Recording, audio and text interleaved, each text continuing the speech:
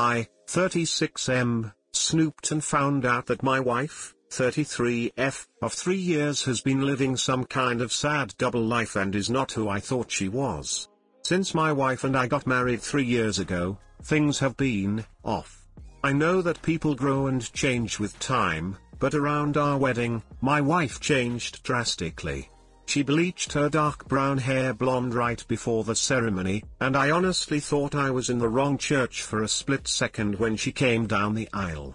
We moved into our house right after the honeymoon, and she went into full domestic mode.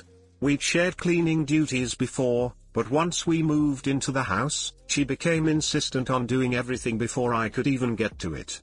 Since this is our first house, I thought it was some kind of homeowner nesting thing, but it never stopped. Her hair color is none of my business and I think most people would be happy not to have to clean, so I honestly didn't really think much of either of those things at the time. The big thing has always been how closed off she got after the wedding. When we were dating, she'd tell me long rambling stories about her feelings and rant to me when she was upset and all that, and I liked hearing about what was going on inside her head. After the wedding, that stopped pretty abruptly. If I ask her how her day is, she will only ever tell me that it was fine. Or super. She doesn't talk to me about her feelings anymore, ever, even when I explicitly ask how do you feel about X. She also stopped telling me about anything important that happened to her. About a year after we got married, her grandfather was peacefully deleted.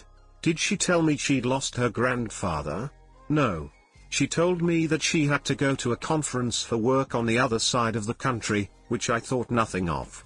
On the second day she was gone, her older brother texted me to tell me that my in-laws had really missed seeing me at the funeral. When I called her to ask why in the ever-loving hell she didn't tell me, and then lied about it, all she would say was I didn't want to trouble you. You have a lot on your plate. After that, she went on a couple of spontaneous family trips. She's really, really close to her family, so the first time she said she was going camping with her brother at their alma mater, I didn't think a lot of it other than to be slightly disappointed and confused that I wasn't invited, because her brother's cool and the three of us go camping together a lot.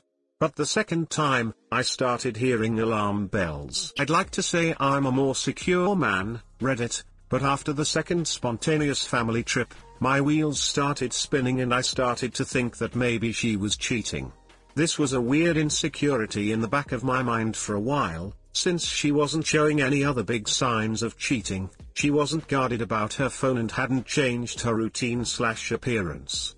A few weeks ago, she told me she was pregnant. I was over the moon about it until I asked her how many weeks along she was, and she nonchalantly said about 12 or 13. She'd been pregnant for like three months before she even bothered to tell me. She's not really showing at all, and she doesn't usually drink, so I had been completely in the ducking duck. I honestly hadn't even suspected. That was kind of it for me. I was sure she was cheating, and that it wasn't my kid. I thought there was no possible way that a woman would keep her pregnancy a secret from her husband for three months.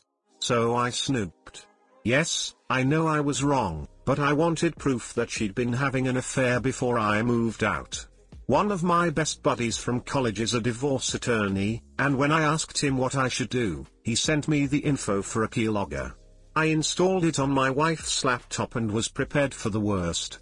Now, I feel like what I found is somehow worse than her cheating. I didn't find any steamy messages, but I found out that she keeps a diary in a Word document that she writes in every day. I know I should have just stopped once I knew she wasn't cheating, but once I saw my name in her diary, I couldn't stop. I read all of it. All seven separate documents, going back to way before we'd even met. Turns out she's not cheating. She's sad as duck, hates herself, and has absolutely no trust in me. All of the stuff I'd been confused and bothered by has some kind of sad, self-loathing explanation. She hates having blonde hair, but she writes I know he'd divorce me if I went back to being a brunette, because wives are supposed to be blonde almost every week. The wives are supposed to be thing is tangled up in everything. She thinks wives are supposed to be quiet, which is why she doesn't talk to me anymore.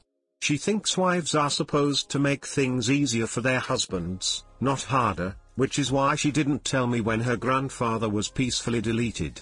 It just goes on and on and on. She didn't tell me when she got a huge promotion and a raise because he'd leave me in a heartbeat if he knew I made more money than he does. Men can't handle that. It hurt to know that she thinks of me as some kind of one-dimensional 1950s husband, and I've been racking my brain to think of anything I could have done to make her think this way. What I can't handle is that she'd lied about the big stuff. I honestly don't know if I can forgive her for not telling me about the miscarriages. The spontaneous family trips were actually her miscarrying two of our children, one at five weeks, the other at about ten. She went and stayed with her parents while she was recuperating, and her brother and sister came to support her. But not me. I didn't get to be there for her, because she thinks I would leave her immediately if I knew that she deleted our children. She's convinced that she caused both miscarriages because she smoked pot for a long time before we got married. For what it's worth, it sounds like her family tried both times to get her to tell me, but she wouldn't. She finally told me about this pregnancy because her parents threatened to tell me she didn't. I'm just absolutely ducking dumbfounded. I don't even know what to think right now. I'm just so baffled because everything she says about me in her diary is insanely nice. She goes on for pages and pages about how much she loves me and how she thinks I'm her soulmate and how she would do anything for me. I just can't understand why she thinks that I would leave her. Knowing that she's spent the last three years walking on eggshells around me, convinced that I would leave her at the drop of a hat is just so, confusing and awful. I feel like our marriage is some kind of lie. The woman I thought was self-confident and ready to take on the world is actually full of self-loathing and really, really, really sad. I don't know her at all. She's been suffering silently with sadness long before we met. She has no faith in me, no trust.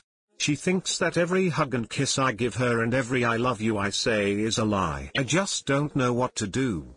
She obviously needs serious help, but I don't know how to get it for her. I can't tell her that I read her diary. If she has zero trust in me now, I can't even imagine what she'd think if she knew if I read six years worth of her private thoughts. I feel like I need to get my in-laws on board somehow, but I don't know what to say to them. I know I can't ignore this, but I feel like any move is the wrong move. What do I do? TL, didn't read, thought wife was cheating so I snooped and read her diary. She's actually insanely sad, has secretly miscarried two of our children, and doesn't trust me one iota. How do I get her help without making things worse? Edit, after I posted this I realized I'd kind of omitted the deal with the keylogger. It's worse than it sounds, honestly. After it showed me what she'd written that day I went onto her computer while she was sleeping and opened up Word. I saw that she had several documents called Diary Year 10 so I downloaded them all onto a flash drive and read them at work. I went too far, I know. Hey guys, please like, comment, and subscribe. It would really help me out, thanks. I think I'd consider discussing everything you know with a professional, and see what they suggest the next step is. Counseling. Right now. She needs way more help than you or her family can give her. My 25F boyfriend, 26M, cheated on me while on we're on vacation with friends. I don't know what to do. I need to lay out the relationships. Me, Emily, and my ex-boyfriend, Paul, Kara and Tyler are boyfriend and girlfriend. Ethan and Olivia are boyfriend and girlfriend. Jamie and Hank are boyfriend and girlfriend. Kenny, Samantha and other Emily are all single. My friends and I all decided to go up to a cabin Kenny owns. He works at the ski lodge not too far here teaching people how to ski among other things. There's 11 of us staying in this cabin he owns. Two of us share a room and he has the sofa. He invited us all up here to have a nice time before we all go back to work. A couple of days ago most of us went to have lunch at a restaurant. Kara stayed back claiming she was coming down with a cold. My boyfriend claimed he was still tired from the day before and didn't sleep well. He wanted to see if he could catch a few extra hours. When we all returned from lunch there was some sort of fight going on between Ethan and Paul. It was a screaming match of some kind. Kenny and Tyler got between them trying to get them to calm down. It came out that Ethan walked in on Kara and my boyfriend having romance. It turned out to be true because Kara broke down trying to explain it to Tyler. Tyler, Ethan and Paul all started to fight again. Kenny was trying to get them to not get physical with each other. God knows where Hank was because he's the biggest guy in our group and no one would really mess with him. He would have come in handy to stop the guys punching each other. Kenny really didn't hit anyone. He was more trying to get them to stop it. Hank almost got into a fight with Paul when he arrived because he did give Kenny a split lip. Kenny and Hank are best friends. You get the point. The guys were going at each other. When the dust settled Paul was trying to explain to me what happened. Kara was trying to explain to Tyler.